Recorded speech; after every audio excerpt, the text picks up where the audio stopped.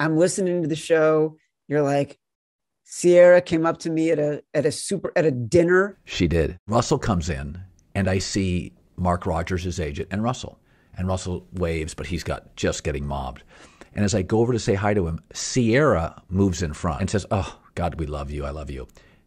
I didn't hear a thing after that. It didn't matter that she said the show. She's the best looking human I've ever seen. I was like, okay, well, I'm going to go and um, uh, have a piece of chicken parm, fall asleep, and dream about what could have been with Ciara. By the way, my wife never walks in when I'm doing a podcast. What can I help you with, honey? Uh, nothing. I just wanted to know if you needed anything. Coffee, maybe an omelet. She wanted to know if I need anything. Is that the best?